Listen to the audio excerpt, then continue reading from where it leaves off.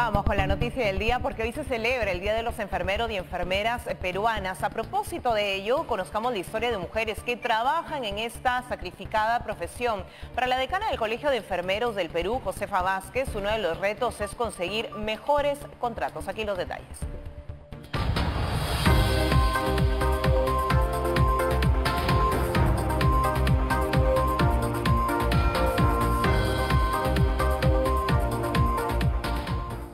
Los enfermeros han estado en la primera fila en la lucha contra la COVID-19. Mariel es uno de los casos más emblemáticos. Durante la pandemia fue diagnosticada de cáncer, pero aún así decidió continuar con su labor.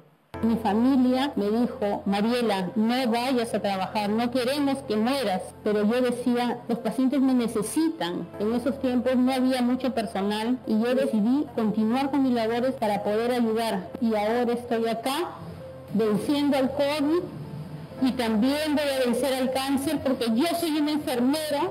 En el área de cardiología pediátrica del INS se encuentra Leslie Jaramillo, que lleva siete años cuidando a los más pequeños. Soy una niña más con ellos, ¿no? Tengo que conocer sus canciones, sus dibujos, qué juegan.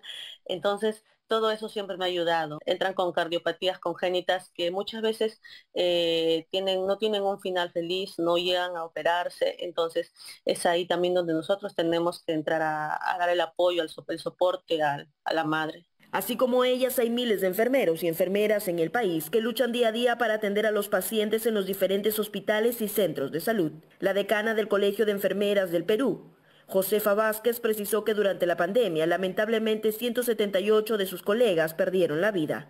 Asegura que dentro de sus retos más importantes está aplicar la tercera dosis al 80% de la población.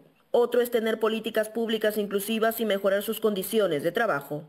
Bueno, durante la pandemia se contrataron más o menos 17 mil enfermeras. En marzo se despidieron a 10 mil enfermeras. Parte de ellas han sido, se ha vuelto a contratar por la modalidad de terceros, con un promedio de 1.500 soles, remuneraciones indignas para una enfermera que estudia cinco años, que tiene dos años de especialidad y que además está expuesta al riesgo de enfermar y morir. Espera que simplemente el reglamento del contrato CAS regular y que se realicen más concursos públicos.